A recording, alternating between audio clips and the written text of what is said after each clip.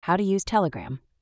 Hey guys, in today's video, I'm going to show you how to use Telegram and make the most of its features. So be sure to watch till the end, and let's get started.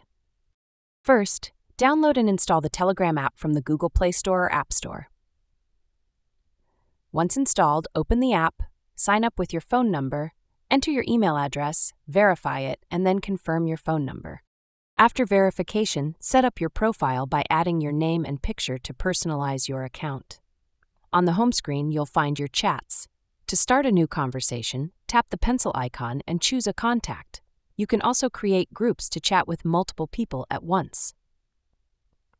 To explore Telegram channels and groups, tap the search bar, type a name or topic, and join the ones that interest you. Channels provide updates, while groups allow interactive discussions. If you want to share media, stickers, or voice messages, tap the attachment icon in a chat and select the file you wish to send. For enhanced privacy, you can use secret chats with end to end encryption and a self destruct timer for messages. That's all for this video. If you found it helpful, don't forget to like and subscribe for more tutorials.